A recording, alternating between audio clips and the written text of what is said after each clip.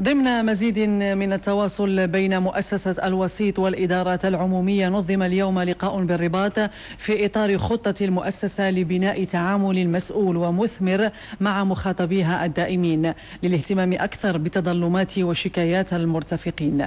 حنان أرسلان ورشيد بالحاضي مؤسسة الوسيط مؤسسة وطنية مستقلة ومتخصصة. مهمتها الدفاع عن حقوق المرتفقين في علاقتهم مع الإدارة. وهي بذلك تساهم في ترسيخ سيادة القانون وقيم التخليق والشفافية في تدبير كافة الإدارات والمؤسسات العمومية. ولتفعيل أكثر لمهامها كان هذا اللقاء التواصلي مع المخاطبين الدائمين للمؤسسة. اليوم عندنا لقاء مع المخاطبين الدائمين في مختلف الوزارات الحكومة وبعض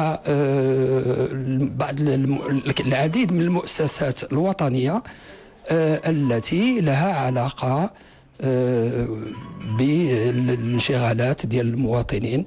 نص المشرع على تعيين مخاطبين دائمين لمؤسسة الوسيط يتمتعون بسلطة اتخاذ القرار كما نص على إحداث لجن مشتركة للتنسيق والتتبع بغية مساعدة مؤسسة الوسيط على بلوغ أهدافها. كل الوزارات كتشرف على العديد من المؤسسات العمومية وهنا كتحدث بعض الصعوبات الكبيرة فيما يخص خاصة التجاوب السريع والرد الفعال. أعتقد على أن هذا اللقاء ديال اليوم هو مناسبة للإجابة على هذه الصعوبات اللي كتعترض السير ديال المفتشيات العامة كمخاطب دائم لمؤسسة الوسيط.